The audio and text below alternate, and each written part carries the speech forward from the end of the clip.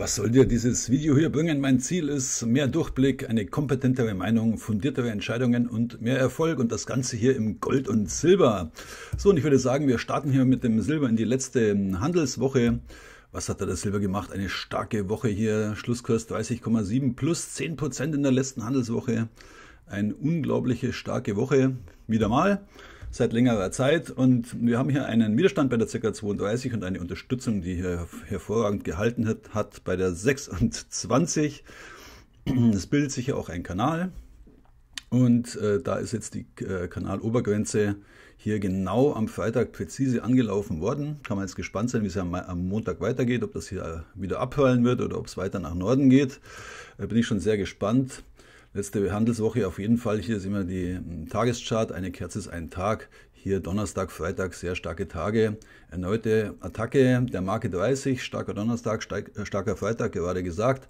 So, das war jetzt hier schon zum fünften Mal jetzt beziehungsweise zum fünften Mal äh, in diesem Jahr, Year to Date 2024, wird jetzt hier die 30 attackiert. Und die Frage ist, wird es nun ähm, gelingen, dauerhaft die 30 zu überwinden? Das ist, würde ich sagen, die Kardinalfrage. Und zwar das in einem September, der hier an sich deutlich bearish ist, äh, beziehungsweise die letzten 15 Jahre im Durchschnitt äh, sehr bearish, deutlich bearish hier war. So, wir kommen zum Gold. Die letzte Handelswoche. Äh, Gold feiert hier, Gold kann feiern. Hier ein neues All-Time-High. Letzte Handelswoche Schlusskurs 2578 plus 3,1 Prozent gemacht in der letzten Handelswoche hat hier den Widerstand bei der 2500 jetzt äh, überwunden per Wochenschluss. Das ist ein deutliches Zeichen. Wir haben eine weitere Unterstützung bei der 2400, also das Gold ist hier auch äh, perfekt unterstützt an mehreren Linien. Und die letzte Handelswoche, wie gesagt, die 2,5 äh, per Wochenschluss überwunden. Das ist auf jeden Fall schon mal ein absolutes Zeichen. Hier auch der Donnerstag war hier auch ein sehr, sehr äh, starker Tag gewesen. Und ähm, haben wir hier also man sieht, wenn jetzt hier so eine Seitwärtsbewegung ist, also so eine, so eine bullische Seitwärtskonsolidierung, ja, die hatten wir hier, die hatten wir aber auch mehr oder weniger hier gesehen. Und wenn so äh, was hier überwunden wird, ja, per Tagesschluss, dann gibt's ja, dann knallt das hier richtig hoch. Ähm, das passiert, ja, wenn ein, ein Widerstand nach längerer Zeit äh, wieder mal geknackt wird. Dann gibt es hier Short-Eindeckungen, also die Short-Leute, die müssen dann hier zukaufen und den Markt verlassen. Und dann kommen natürlich auch wieder ähm, Leute, neue Käufer rein mit Long-Interesse. Und dann gibt es dann eben hier so einen Schub. Das sieht man hier relativ häufig. Hier hat man es gesehen, da hat man es gesehen. Gibt es wie gesagt relativ häufig. Äh, Gold saisonal gesehen ist leicht bearish. Es ist, ähm, es ist nicht so bearish wie das äh, Silber. Also hier werden die Voraussetzungen äh, grundsätzlich hier äh, besser ja, als im als im Silber. So, und erstmal jetzt eine kurze Begrüßung. Moin, würde ich sagen, hier zu einer erneuten Gold- und Silberanalyse. Was erwartet dich hier noch? Also wir werden hier noch äh, ein bisschen, bisschen Theorie machen.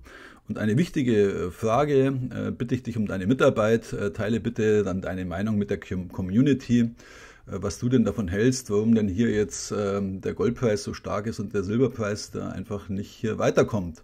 Schauen wir uns gleich an. Jetzt schauen wir uns die Investoren hier an, die hier Jahre im Markt drin bleiben, muss ich einen kurzen Disclaimer geben.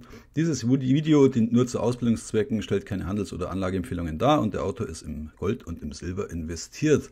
So, wir sind hier das äh, rollierende Jahr vom 13.09.23 bis 24, also ein Jahr genau hat das Gold gemacht, plus 35 Prozent, das Silber plus 33 Prozent.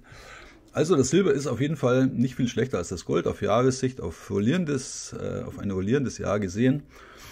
Die Gold-Silber-Ratio, die ist jetzt hier bei 84. Das ist ein relatives Verhältnis Gold zu Silber. Das heißt jetzt hier nicht absolut, dass hier jetzt das Silber hier oben bei der 84 absolut günstig ist. Es ist im Vergleich zum Gold günstig und Gold ist eben hier oben teuer.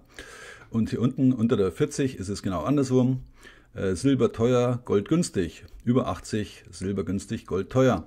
So, zurzeit ist das Silber relativ äh, zum Gold gesehen günstig. Man zahlt also 84 Unzen Silber derzeit für eine Unze Gold. Gibt es hier eine Strategie, die sogenannte Gold-Silber-Schaukel. Das heißt hier oben Gold verkaufen, das Silber kaufen, wenn das Silber hier oben günstig ist. Und dann hier unten, wenn das Silber dann teuer ist, unter der 40 Silber verkaufen und wieder Gold kaufen. Eine äh, von mir sogenannte Gold-Silber-Schaukel. Derzeit äh, die Strategie würde lauten Silber kaufen, Gold verkaufen, weil wir hier oben bei über der 84 sind.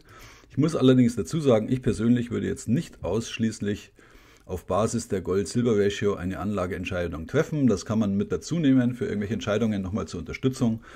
Meines Erachtens, ja, das ist meine ganz persönliche Meinung, aber ähm, ausschließlich auf dieser Ratio zu handeln, das würde ich jetzt absolut nicht äh, empfehlen können. Aber ich gebe hier keine Empfehlungen, ich mache hier nur Analysen, okay? So, jetzt äh, Silber langfristig, Kampf um die 30, äh, der gilt immer noch, auch wenn wir jetzt hier 0,7 drüber sind. Die 30 ist einfach ein starker Widerstand. Wenn wir mal gucken, wie der Monat hier so endet, wo der Monat schließen wird, über der 30, unter der 30. Hier war das 2011, äh, 12 ein Gerangel, 2020, 21 äh, hier auch ein Gerangel, dann noch ein starker Abfall bis runter an die 17. Also da ist, äh, würde ich sagen, man kann hier ein bisschen feiern, würde ich sagen, aber Verhalten. Ich würde auf jeden Fall Verhalten feiern und jetzt nicht schon hier den Champagner rausziehen aus der Tasche und äh, sagen, okay, das zieht jetzt auf jeden Fall durch bis auf die 35. Das wäre nämlich das nächste Kursziel hier bei 35, äh, basierend auf diesem Impuls X 2020. Der hatte die Höhe von 18. Muss man hier unten ansetzen an die 17 und dann 18 plus 17, zack, gibt dann hier die 35 als nächstes Ziel. Das übernächste Ziel, das wäre hier die 50. Äh, ähm, da haben wir hier auch dieselbe Range, nur eben über drei Jahre gesehen. Die setzt man dann hier an den Ausbruchspunkt, hier an die 30, wenn dann der Trend hier weitergeht, hier oben an. 30 äh, plus 18 ist 48. Ich habe hier die 50 als runde Zahl genommen und es gibt noch ein ganz, ganz langes Kursziel. Ähm, hier aus, dem, aus dieser Tassen-Henkel-Formation ex 1980, das Gebrüder das Spekulationshoch der Gebrüder Hand in Amerika.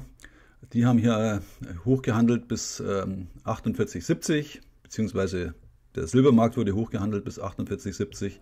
2011 hatten wir die 48,47. Da sieht man mal, wie, wie genau das hier funktioniert. Also das war die Tasse. Hier rechts würde sich dann ein Henkel ausbilden, wenn wir hier an die 50 hochlaufen.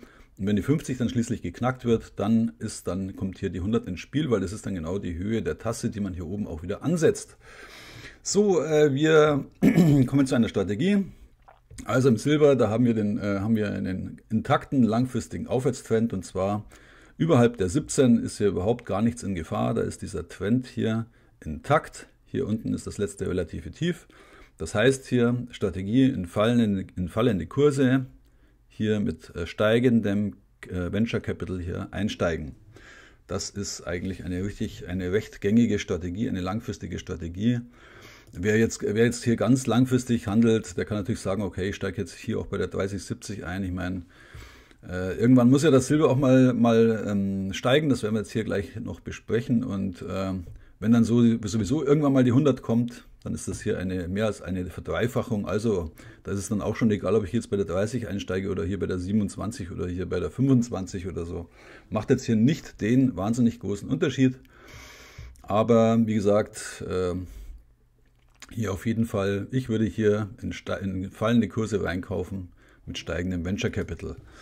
So, ähm, hier Angebot und Nachfrage. Beim Silber ist die Nachfrage hier deutlich höher als das Angebot. Und ähm, ähm, eine Annahme, es gibt hier eine Annahme, hier in den Märkten sozusagen, dass die Situation sich weiter verschärfen wird. Also das ist, das ist eine Situation, und jetzt machen wir ein bisschen Theorie, ja, und da würde ich dich jetzt auch um deine Meinung bitten, ja, dass du deine Meinung mit der Community teilst.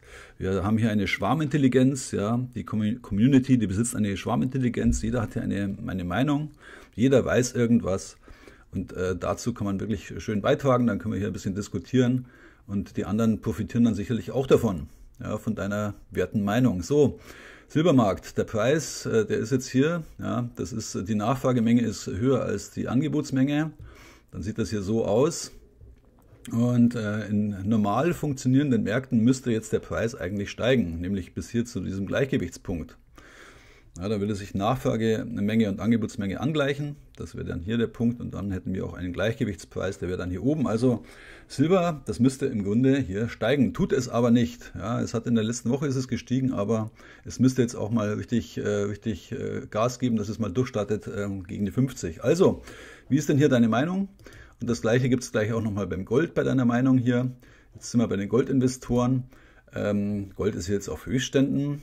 Und äh, sehen wir hier einen Kanal, den habe ich jetzt nochmal ein bisschen, bisschen neu nachgezogen. Ich habe hier noch hier unten einen historischen Punkt noch mit dazu genommen. Und jetzt äh, ergibt sich hier eine neue, ein neues Kursziel bei der 2,750. Das würde auch absolut Sinn machen. Das ist genau die Hälfte zwischen 2,5 und 3000. Mm, also das würde ich jetzt hier als nächstes Kursziel hier ins Auge fassen. 2,750. Äh, übernächstes Ziel wäre dann die 3000. Ergibt sich hier aus einer Tassen-Henkel-Formation. Höhe der Tasse hier oben an den Ausbruchspunkt angesetzt. Ergibt dann hier oben circa die 3000. So, auch hier die Strategie, hm, genauso wie beim Silber. Wir haben hier einen intakten, langen Aufwärtstrend. Hoch, tief, höheres Hoch, tieferes, äh, höheres Tief und dann höheres Hoch. Auch hier in fallende Kurse mit steigendem Venture Capital einsteigen. Also ich steige hier auf jeden Fall nicht ein, ein hier oben. Wer ganz, ganz langfristig handelt, kann das natürlich machen. Das ist gar kein Thema über 20, 30 Jahre. Müssen wir hier, glaube ich, jetzt nicht groß diskutieren. Aber wenn ich jetzt sage, hm, ich habe jetzt einen Zeitraum von ein paar Jahren oder so, dann würde ich jetzt hier oben auf in Höchststände nicht einsteigen. Das ist aber meine ganz persönliche Handelsstrategie. Kann jeder machen, wie er will. Ich würde hier mit in fallende Kurse mit steigenden Geldbeträgen einsteigen. So, wir haben jetzt hier Angebot und Nachfrage. Beim Gold sieht es genau anders aus als beim Silber. Da ist das Angebot ist äh, höher als die Nachfrage. Ja. Der Angebotsüberhang, der schadet aber offenbar nicht dem Goldpreis. Und das, das ist auch wieder so ein Ding. Und auch hier bitte wieder deine Meinung teilen mit der Community. Also da sieht es genau andersrum aus. Hier eine Angebotsmenge, die ist höher als die Nachfragemenge. Das müsste eigentlich jetzt hier einen Preisdruck Richtung Süden erzeugen. Und was macht das Gold? Das Gold, das steigt und steigt und steigt. Hm, also auch hier wieder die Frage, äh, hier nach der Schwarmintelligenz, äh, warum ist das so? Ja, ich habe natürlich auch meine Theorie, aber ich würde mal gerne hier eure oder deine Theorien hier abfragen und dann werde ich das nächste Mal werde ich das alles zusammentragen und dann hier berichten, wie denn hier die Community das Ganze hier sieht. So, dann würde ich sagen, soll es das für heute gewesen sein. Äh, schauen wir mal, wie äh, die Elster nächste Woche hier das Material hier aufnehmen wird. Ich würde sagen, diese Woche war das Gold und Silber. Hätte ich jetzt beides mitgenommen, wenn ich jetzt hier diese kleine süße Elster wäre. Aber schauen wir mal, wie es nächste Woche sein wird. Okay, dann würde ich sagen, wenn es dir gefallen hat, lass mir bitte ein Abo da und like das Video. Ansonsten würde ich sagen, dann hier bis zur nächsten Analyse am nächsten Samstag. Tschüss, ciao, servus und goodbye hier aus Hamburg.